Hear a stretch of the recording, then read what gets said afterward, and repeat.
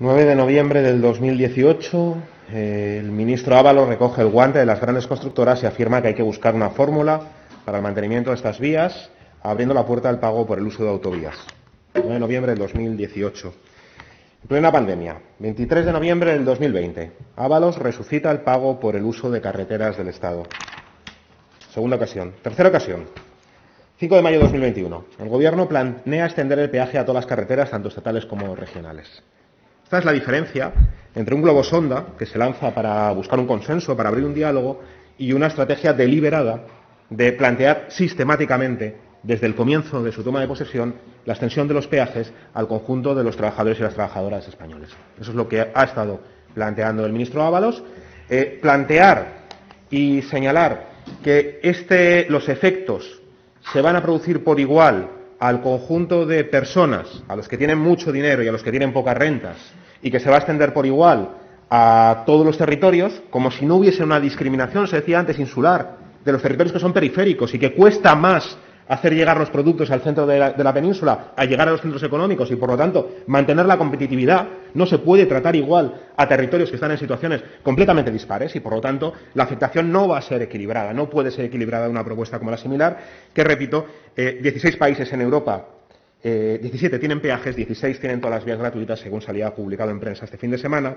eh, y, que, tiene, de alguna manera, el debate sobre quién paga las deudas de la crisis y si esas deudas se pagan con los que más han ganado durante la pandemia o se pagan en el conjunto de los trabajadores y trabajadoras. Eh, bueno, por eso vamos a apoyar esa iniciativa, porque creemos que es necesario dejar bien claro que en Asturias no se pone ni un peaje más. Eh, esta es la tabla de peajes de vencimiento de las concesiones de peajes actualmente. Nos encontramos con muchas de ellas rescatadas, incluidas las radiales de Madrid, eh, muchas que van a acabar la concesión en los próximos años, 2021, cuatro en 2021, 2024, 2026, y unas pocas que van a seguir teniendo un peaje vergonzoso, un peaje vergonzoso, en el caso de Asturias, hasta el 17 de octubre del año 2050. 17 de octubre del año 2050, mientras se rescataban autopistas en este país, precisamente de los territorios que no son periféricos, los que más fácil resulta producir, más fácil resulta atraer empresas de y más fácil resulta atraer a jóvenes que van a trabajar a esos centros económicos. Por lo tanto, algo hay que hacer. ¿no? La enmienda que presentábamos hoy, que no se, parece que no se va a aceptar, eh, iba en la línea de que tenemos que no resignarnos a que tener un peaje en Asturias hasta el año 2050.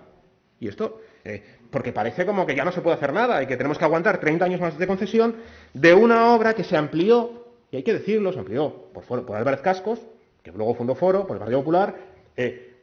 el PSOE que prometió retirarla y luego la mantuvo, pero que se amplió, y eso es lo que, lo que salía publicado en prensa, a cambio de suprimir tramos de peaje en Galicia. Eso fue la justificación de la concesión. Y cuando nosotros pedimos la documentación legal y dijimos cuál es el interés general que ha justificado esta concesión, no había ningún interés general. Es que no había ningún interés general más que el de la propia concesionaria de ampliar hasta el 2050 la concesión. Con lo cual, no es asumible, no es asumible que le demos 3.200 millones de euros a costa de los bolsillos de los asturianos a esta concesionaria hasta el año 2050. No es asumible y, por lo tanto, ¿qué es lo que creemos que hay que hacer? Bueno, hay que hacer un frente jurídico de poner a todos los abogados del Estado, a todos los abogados de la comunidad autónoma, para buscar cualquier forma de suprimir el peaje, de salirnos en 2050, cualquier forma de realizar las auditorías económicas y plantear cuál es en realidad lo que se debe y quién debe a quién. Eso es lo que tendría que estar haciendo toda la Administración, caminar en esa dirección y no resignarnos a que en Asturias se sigan poniendo peajes y tengamos que seguir aguantando propuestas como la vergonzosa propuesta de Ábalos que perjudica a los de